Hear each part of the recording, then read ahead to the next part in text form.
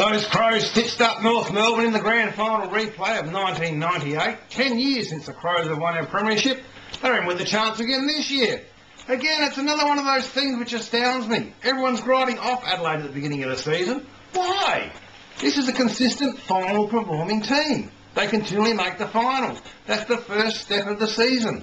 There's two seasons in every year. The first part of the season where you make the final eight, and if you've made the final eight, then you've got the finals action during September. Yet again, Power did all right, fell into the four, fell into the eight. However you want to look at it, they made the grand final last year. The Crows, on the other hand, lost. But they still made the finals, yet they still get written off. People have got to look at these results through the course of the year so far. Adelaide are doing okay.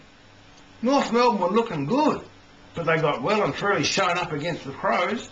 So have a look at it for the rest of the year. Be confident if you're a Crow supporter, you might be celebrating another premiership later in the year.